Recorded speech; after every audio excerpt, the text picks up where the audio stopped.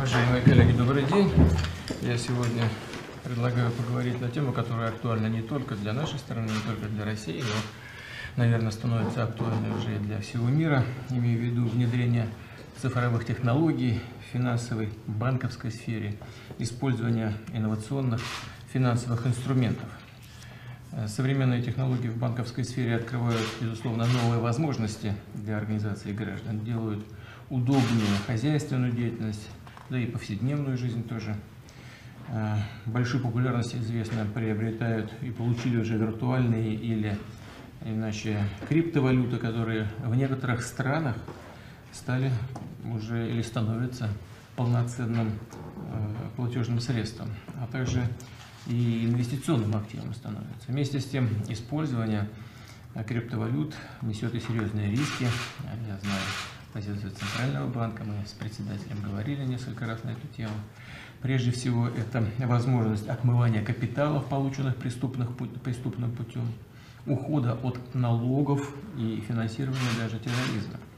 Ну и, конечно, распространение мошеннических схем, жертвами которых могут, безусловно, стать рядовые граждане.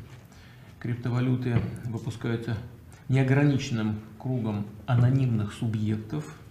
Таким образом, покупатели криптовалют могут быть вовлечены в противоправную деятельность.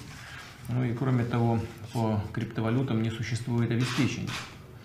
Э, в случае э, сбоя системы или надувания пузырей, как сейчас модно иногда говорить, по ним не будет юридически ответственного субъекта. Это такая серьезная вещь, которую мы должны иметь в виду,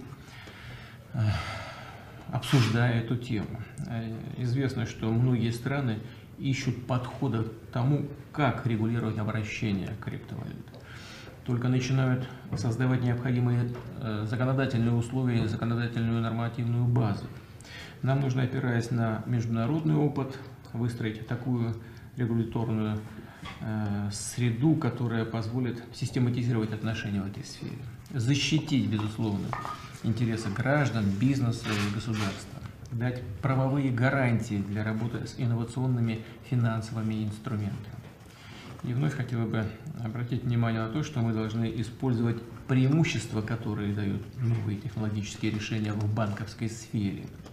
При этом важно не нагородить лишних барьеров, разумеется, а создать необходимые условия для дальнейшего развития и совершенствования национальной финансовой системы.